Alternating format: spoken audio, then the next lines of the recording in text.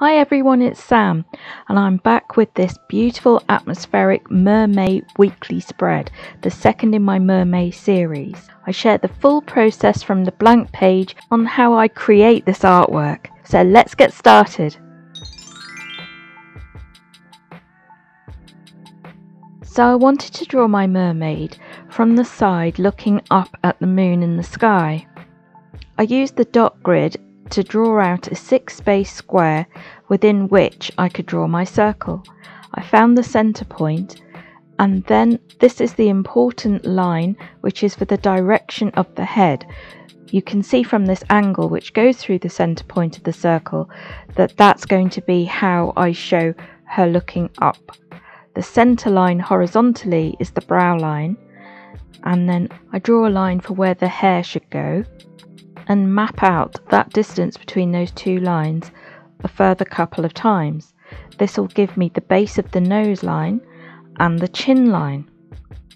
This way of mapping out the face is based on the Loomis method. I find the guidelines really reassuring whenever I start a portrait because then I know the proportions are going to be more or less okay, even if I change things. Now this is the eye line that sits a third of the way down from where the eyebrows sit.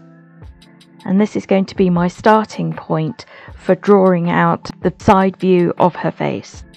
Drawing the eye from the side, it's basically a rounded triangle where you extend the lines a little bit for the upper and lower eyelashes when you're drawing faces at this sort of small scale, you can only put in the key features really.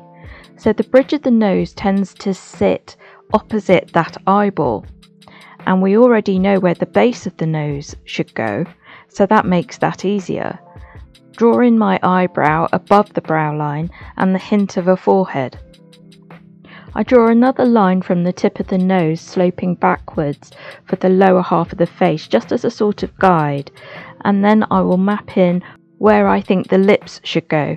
It is again the side view. The easiest way to think of drawing a mouth from the side view is of a heart turned on its side with a line through the middle. You'll notice when I draw the chin, it tends to be a little bit below the guideline, but that tends to be the way I draw them. It's totally up to you. So now the angle of the jaw tends to sit behind the halfway guideline, the vertical one, and that'll go up towards where the ear should sit. I think describing it makes it sound more complicated than it is, so just keep practicing basically, that's what I've done and you'll find it gets so much easier. So I've just erased all the excess guidelines now and I've started with my mechanical pencil which is an HB pencil and a 0.5 millimeter nib so it's very fine and it'll help me get those beautiful details in. I've started to build up quite a library of videos now showing how I draw portraits of cartoon characters I have drawn the portraits where the characters are facing face on and three quarter view, and then this one is a side profile.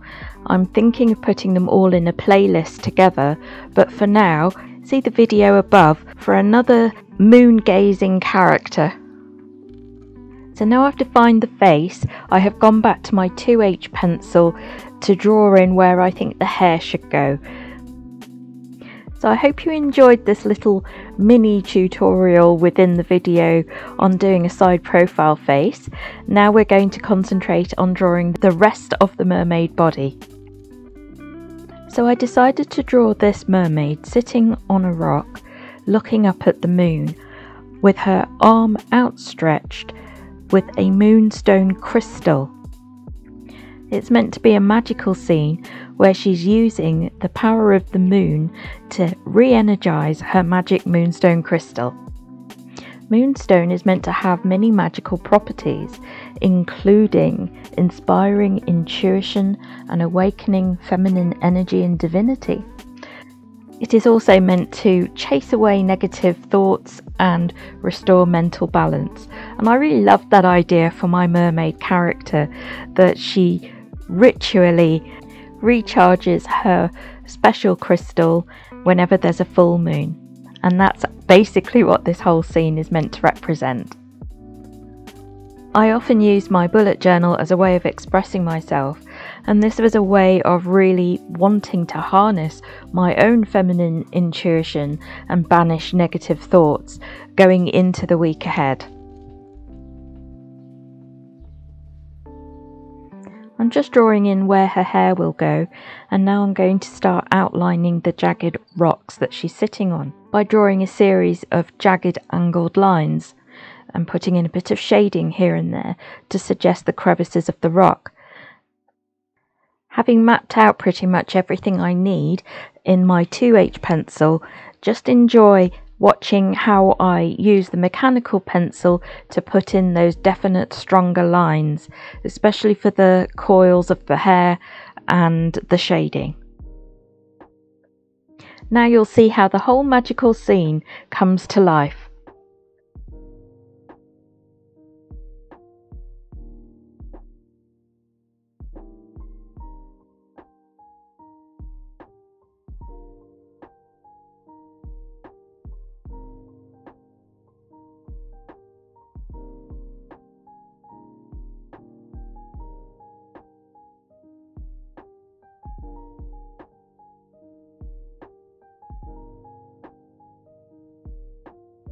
So now it's time to paint.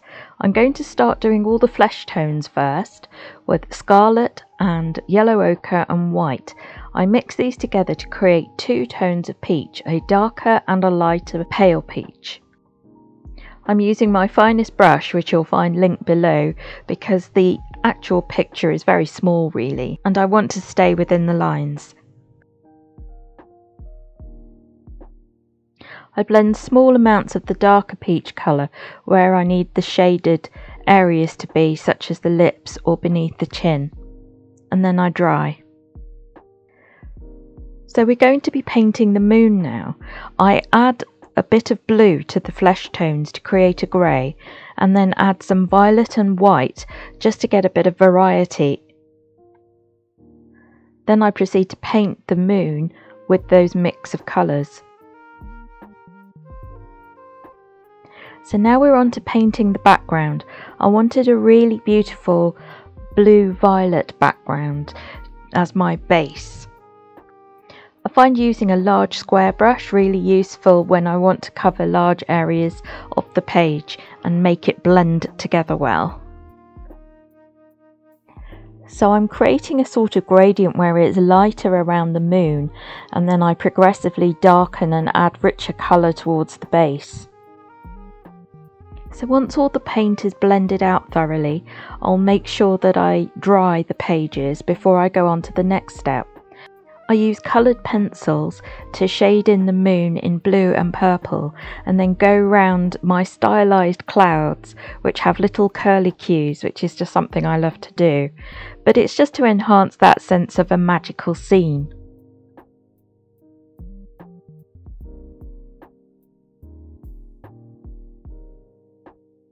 So now we're on to the mermaid's hair.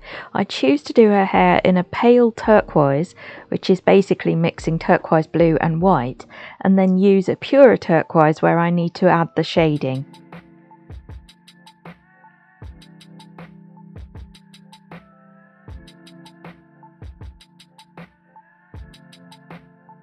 So you'll see me picking up a metallic watercolour paint set. That's because I was anticipating putting some metallics onto the mermaid's tail. But I started by doing a base in normal gouache using a watery mix of a crimson colour. So here starts the shimmer with some purple for the tips of the tail and rose gold metallic watercolour for the main body. I have a little clip at the end of the video that really shows how much shine and shimmer you get from these metallic paints. So once everything is dry, it's time to use the fine liner pens for outlining all the main features. I use a turquoise colour that matches the hair and then brown for the features of the face and the flesh parts. I find the fine liner pens really do their job in getting the main characters or whatever the subject is to stand out from the painted background.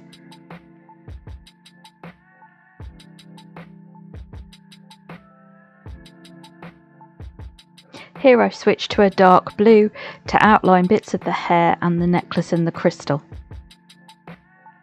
And I've chosen a purple fine liner pen to put in all those fish scales, which is essentially a scalloped edge, going right the way down the tail.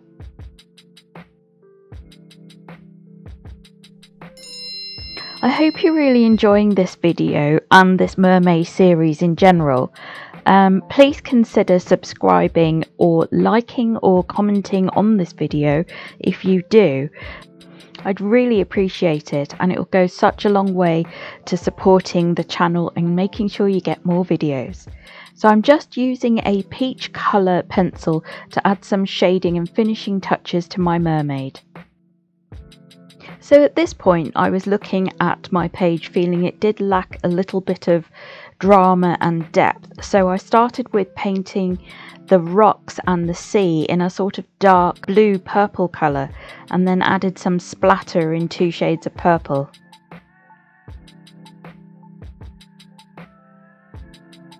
So it's time to bring the drama with some black and dark blue paint I first use my quill brush to paint in the shards of the rocks with a sort of negative painting style that leaves the pale paint beneath to show through while I highlight the forms and texture of the rock. And then I use that same dark blue black mixture liberally around the mermaid and around the waveforms so that it really adds to that sense of atmosphere and drama that I'm after. I blend out the darker paint into the lighter layer beneath so the whole scene comes together. So now I'm mixing up even more black and blue and using two square brushes to add a great deal of dark splatter pretty much all over the double page spread. I dab some of the excess with tissue and then make sure I've dried it with a hairdryer. I'm using white gouache to do the same sort of splatter effects but in white this time to represent sea foam. I really love this effect. I think it really brings on the drama and totally makes this scene look so magical.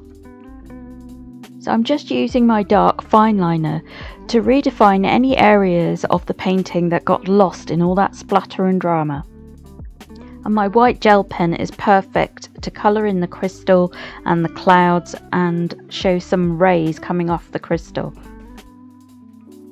So I decided to use my coloured pencils this time to divide the double page spread for my weekly because it then didn't distract too much from the main painting.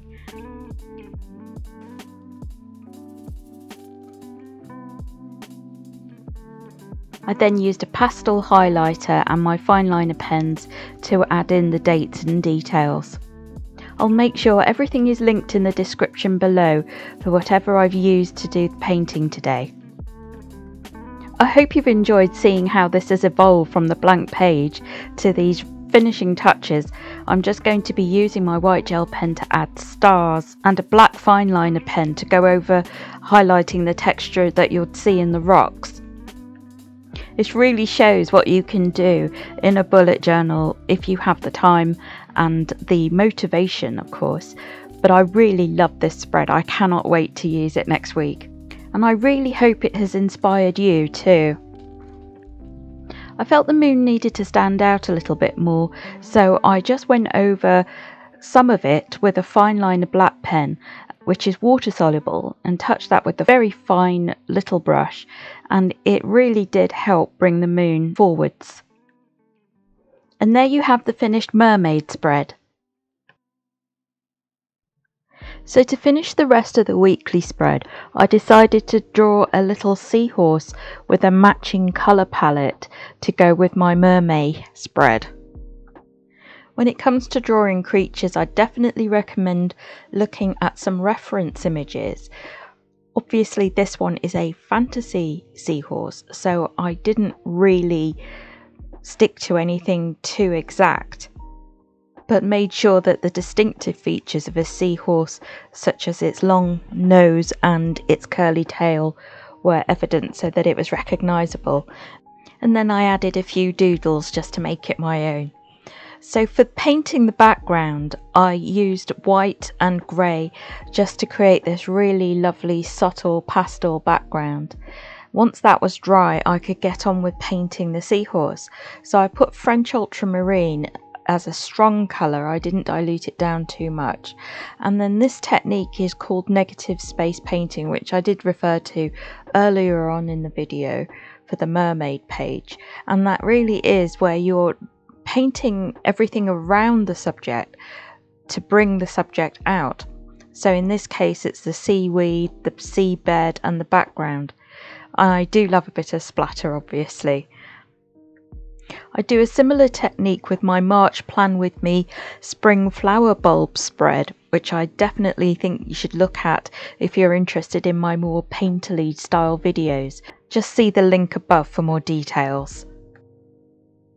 So now I've just mixed up some violet and blue because I want to focus on painting the actual seahorse itself.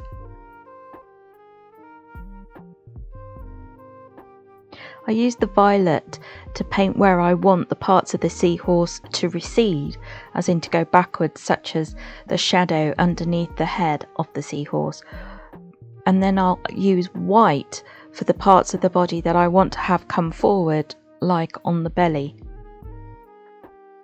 I don't know if you recall the Easter bunnies I did for my April plan with me. I did a similar thing where I pushed and pulled with white and grey in that case to form the 3D shape of the bodies. In this time it's purple and white, but it's the similar principle.